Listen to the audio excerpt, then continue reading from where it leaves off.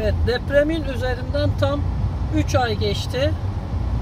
3 ay sonra özellikle öğrencilerim sorduğu için tekrar üniversite yerleşkesini çekiyorum size. Yol karşılıklı asfaltlandı arkadaşlar. Görüyorsunuz yolun sol tarafının asfaltı yoktu. Kazılmıştı. Buraya da belediye, Antakya Belediyesi burayı asfaltladı. Üniversitenin arka hastane kapısından çıktım. Daha önceki çektiğim videodaki kaldığım konteyner kente kadar çekiş yapacağım arka yolu. Burada yerleşkeler şu an sağlam. Yani bütün apartlar faaliyette bilginiz olsun.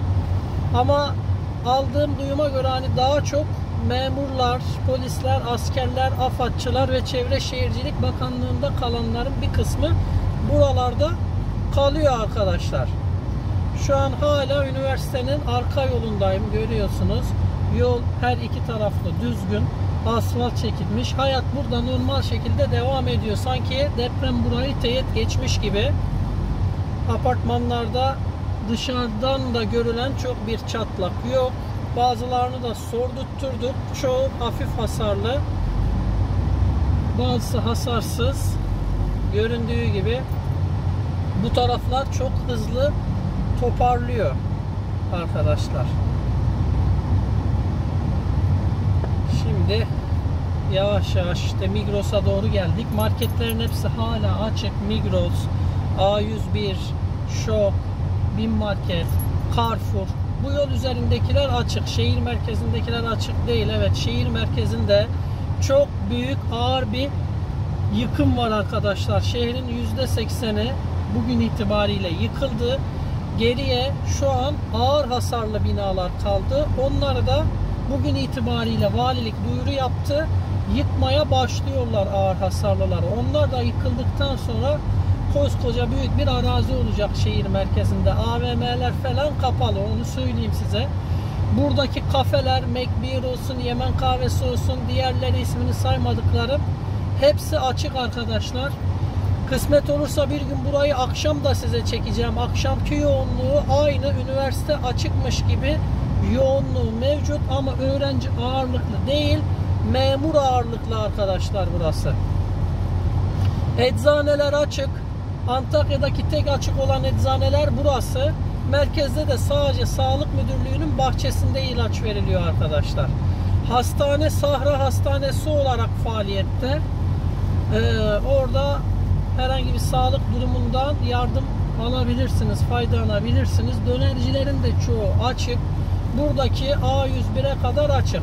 Geldik üniversitenin nizamiye kapısına. Önünden düz gideceğim. Arka yol çok berbattı.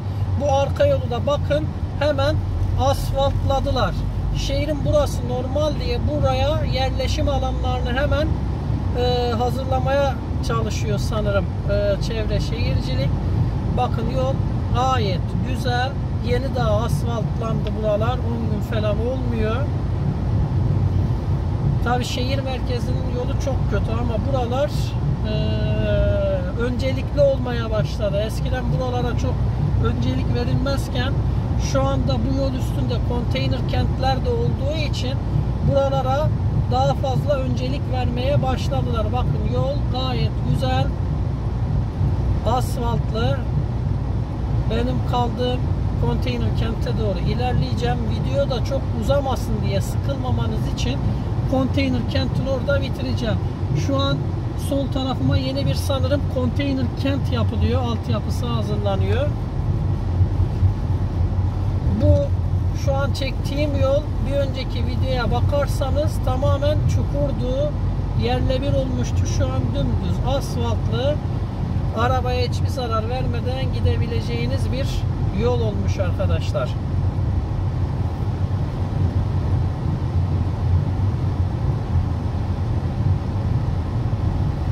Gördüğünüz gibi tabi hala çadırlarda kalan insanlar var.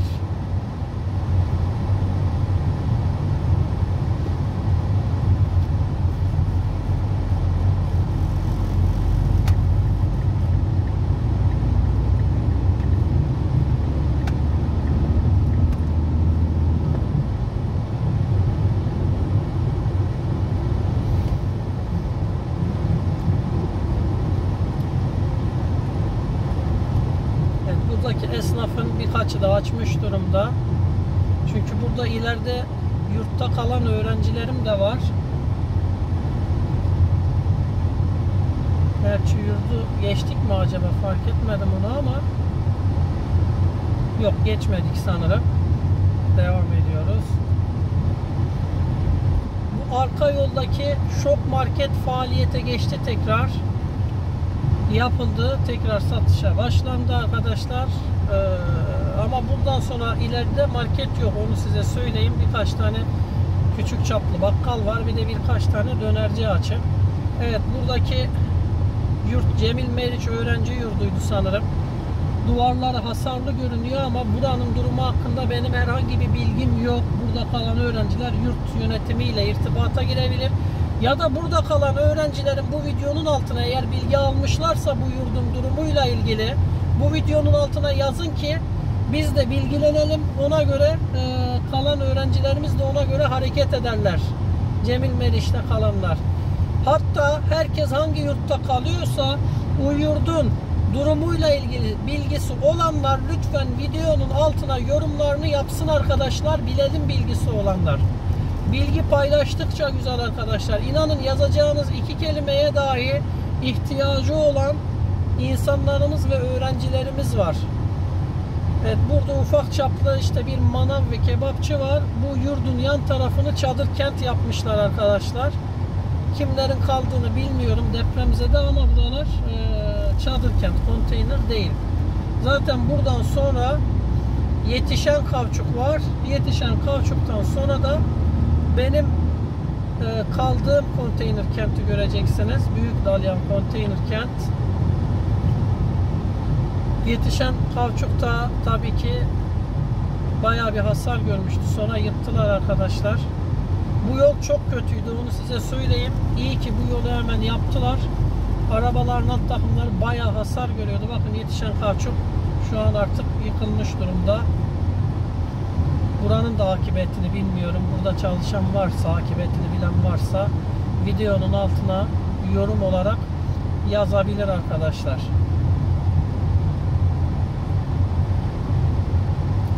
Videoyu çok uzatmayacağım. Sıkılmamanız için.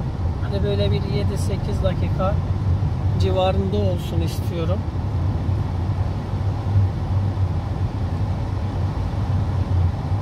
İşte buradan benim kaldığım konteyner kentin arka kapısı arkadaşlar. Buranın bir de ana yolda da girişi var. Burada da ufak çaplı böyle esnaflar falan var.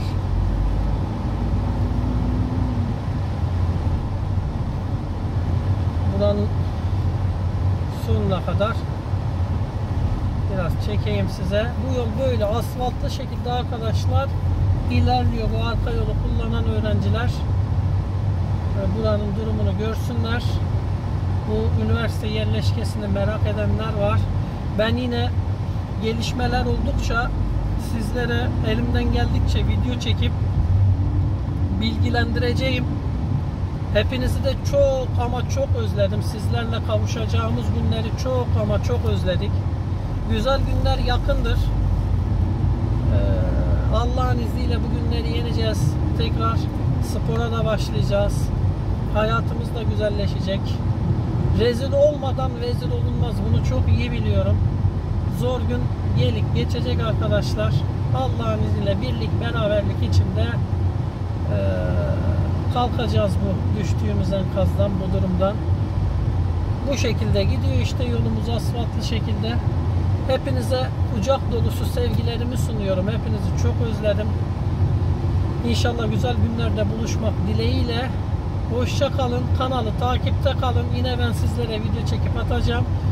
Şu deprem sebebiyle spor videolarına ara verdik. Her şey düzelince onlara devam edeceğiz. Kanalı çünkü bir spor ansiklopedisi olarak düşünüyordum. Fitness ansiklopedisi daha doğrusu, daha doğru deyim de. Bu sebeple desteğini bekliyorum. Yani kanala çok şu anda acımız var diye video çekmiyorum arkadaşlar ama sizler desteklerinizi bu hocamızdan esirgemeyin. Bir sonraki videoda görüşmek üzere. Güzel günlerde görüşmek üzere. Hoşça kalın arkadaşlar.